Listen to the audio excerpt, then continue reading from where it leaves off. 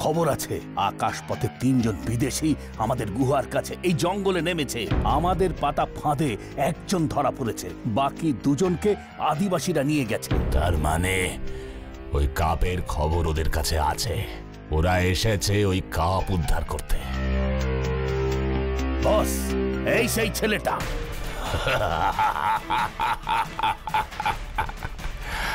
আমার ডেরায় আজ পর্যন্ত কোনো পুঁচকে ছোড়া আসে দিয়ে এ তোমরা কাকে ধরে নিয়ে এলে? হুকুম এই বিদেশি আমাদের ফাঁদে পড়েছে। এই কি নাম তোর? কোথা থেকে এলি? কেন এলি এখানে? কাপ উদ্ধার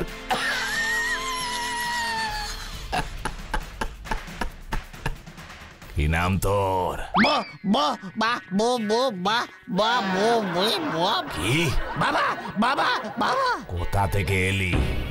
কেন এলি? বেবে বুবু বেবে বুবু বাবা বুবু বু বু হুকুম মনে হচ্ছে ছেলেটা কথা বলতে পারে না। আহা হা হা হা রে এতটুকু ছেলে কথা বলতে পারে না। কিন্তু কি আর করবি বল?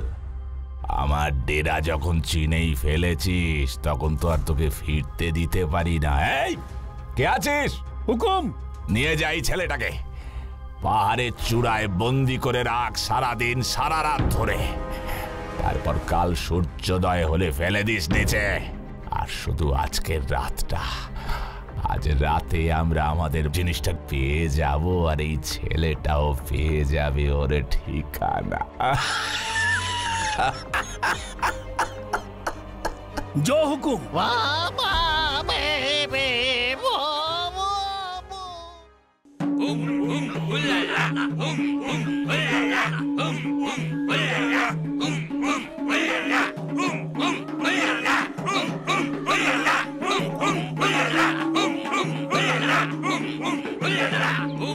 मतुल लगो ए बड़की हो गो? ওরা তো আমাদের আগুনে পুড়িয়ে খাবার ব্যবস্থা করে ফেলেছে। যা করার আমাকেই করতে হবে। ওরা ভাবছে আমরা ওদের শত্রু। আমাকে একটা বুদ্ধি বার করতে হবে।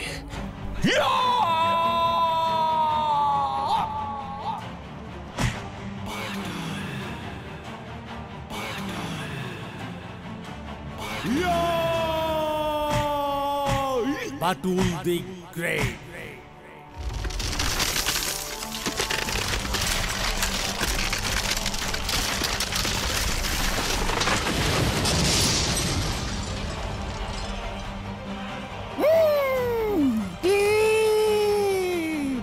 দেবতা আকিমা আকিমা শক্তিমান দেবতা আকিমা আকিমা। জিও ভাটুল্লা তোমার জবাব নেই। ওরা তোমাকে ওদের দেবতা আকিমা ভাবছে। হুম এদের কাছ থেকে জানতে হবে বিচ্ছু কোথায়। আকিমা!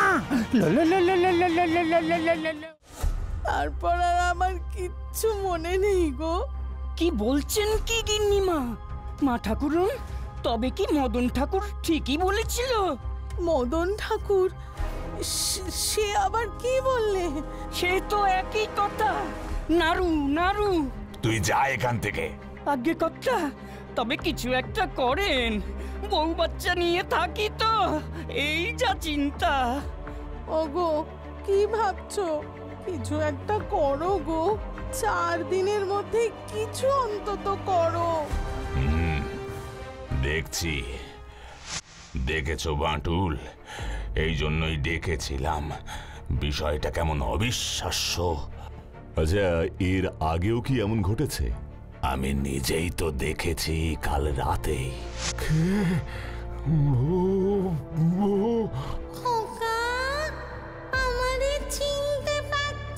না। মা মা। কোথায় মা? আবার সকালেই দেখি মদন ঠাকুর নিজেই এসে কথা বলছে। কাল মা ঠাকুরুন এসেছিলেন আমার কাছে। বলেছিলাম না কর্তা কি সব অলক্ষণে কথা বলছে? না না কথা সত্যি বলছি বলে গেলেন আপনার কাছে নাড়ু চাইতে তাও আবার শোনা আমি নিজে যদি না দেখতাম তবে মদন ঠাকুরের কথা নিয়ে মাথা ঘামাতাম না। কিন্তু এখন আবার গিন্নির সাথেও যা হলো, আর মনে হচ্ছে ফেলে রাখা ঠিক হবে না। শুধু শুধু তোমাকে ডেকে এনে বিব্রত করলাম। না না ইয়ে আপনি কি বলছেন? আসলে কি জানো তো, ঠিক কি করব বুঝতে না পেরে তোমাকে ডেকে পাঠিয়েছিলাম। কিন্তু গিন্নির ঘটনার পর আমি ঠিক করেই ফেলেছি যে আর দেরি করব না। কালী মন্দিরের কাজে হাত লাগাবো আর স্যাঁকড়াকেও সোনার নাড়ুর অর্ডারটা দিয়ে দেবো। তুমি কি বলো? আমার মতামত যদি সত্যি চান তো বলি, আপনি সবার আগে গাঁয়ের সব ঘরে খবর পাঠান যে আপনি আপনার মায়ের শেষ ইচ্ছানুসারে মদন ঠাকুর আর মাধবকে সোনার নাড়ু দেবেন। আর যে মন্দির আপনি প্রতিষ্ঠা করতে চলেছেন, সেখানকার ঠাকুর হিসেবেও আপনি ওই দুই বামুনকেই নিযুক্ত করবেন। আচ্ছা বেশ, তাই করছি। আপনি সব আয়োজন করে নিন। তবে তোমাকে কিন্তু ছাড়ছি না মাটুল। মন্দির উদ্বোধনের পরেই তোমাকে ছাড়বো। আচ্ছা বেশ সে হবে না হয়। এখন আমি আসছি। বলেন কি গো বাটুল বাবু? মা ঠাকুরুন দেখা দিচ্ছে সবাইকে। না নিতাই সবাইকে নয়। মা ঠাকুরুন তো পুজো আচ্ছা করতেন গো। সাত্বিক মানুষ ছিলেন। উনিও মারা যাওয়ার পর স্বর্গে না গে তেনাদের সাথী আছেন। এখানেও সেই ভূতের কেস রে। হয় হয় রে। ও বাটুলদা তুমি কি এখানেও কিছু সন্দেহ করছ নাকি? খাওয়া দাওয়া সেরে ফেল। আরও তো দুদিন ঘোরার সময় পেয়ে গেলি। আপনাদের যে কি বলে আমি ধন্যবাদ জানাব। আপনারা সকলে এসেছেন। আমার মায়ের আত্মার শান্তির জন্য পূজার্চনাতেও উপস্থিত রয়েছেন।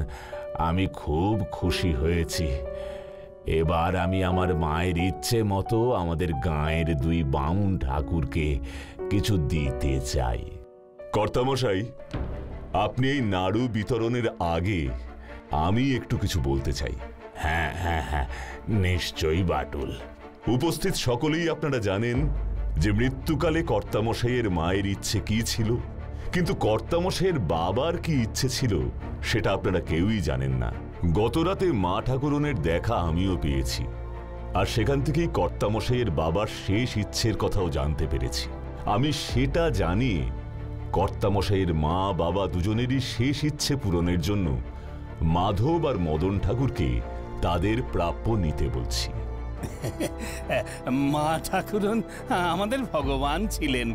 উনি আমাদের জন্য যা ইচ্ছে পোষণ করবেন, আমরা তো তা মাথা পেতে নেব। বটে। মৃত্যুকালে কর্তামশাইয়ের বাবার ছিল গেঁটে বাত। কবিরাজ মশাই লোহার শিক গরম করে সেঁক দিতে বলেছিলেন। কিন্তু সেটা নেওয়ার আগেই উনি গত হলেন। মা ঠাকুরনের ইচ্ছে মতো সোনার নাড়ু যেমন ওরা পাবে, তেমনি আবার গরম লোহার শিকের ছ্যাঁকাও ওরাই পাবে। না হলে কর্তামশাইয়ের বাবার আত্মাও তো কষ্ট পাবেন। না না আমি চাই না আমি চাই না। ও বাবা আমিও না আমিও তো কখনো চাইনি। ওরে বাবা রে না না না। সে কি? তোমরা যে বলো তোমরা নাকি কর্তামশাইয়ের জন্য সব করতে পারো। কর্তামশাই যা দেবেন তোমরা নাকি তাই নেবে। তাই গরম শিক কেন নেবে না? আর আমাকেও তো মা ঠাকুরন এই নির্দেশই দিলেন। মিথ্যে কথা হতেই পারে না। কেন হতে পারে না মদন ঠাকুর? আমি কিছু জানি না। আমি কিচ্ছু জানি না। তবে কে জানে? খোগেন চাকর সব জানে। ও আমাকে দিয়ে করিয়েছিল। গিন্নিমাকে ভয় কে দেখিয়েছিল? আগে আমি আর মাধব দুজনে মিলে। তবে সবটাই করেছি ওই খগেনের কথা মতো। ও সব জানে কর্তামশাইকে কে ভয় দেখাতে এসেছিলি? আমরা না আমরা না কর্তা ওটা খগেন ছিল। খগেন? আমার খুব ভুল হয়ে গেছে কর্তা ছেড়ে দেন ছেড়ে দেন আমায়। আমি তো কিছুই বুঝতে পারছি না মাটুল। এই গাঁয়ে মন্দির হলে কার সবচেয়ে বেশি লাভ? গাঁয়ের দুই পুরুত ঠাকুরের। তাই চাকরের সাথে মিলে ওরা ভূতের ভয় দেখিয়ে জোর করে মন্দির নির্মাণ করতে চাইল। মদন ঠাকুর একা এসে বললে বিষয়টা অত জোর পাবে না। তাই আগের রাতে খগেন কর্তামশাইকে একই কথা বলে ভয় দেখাল।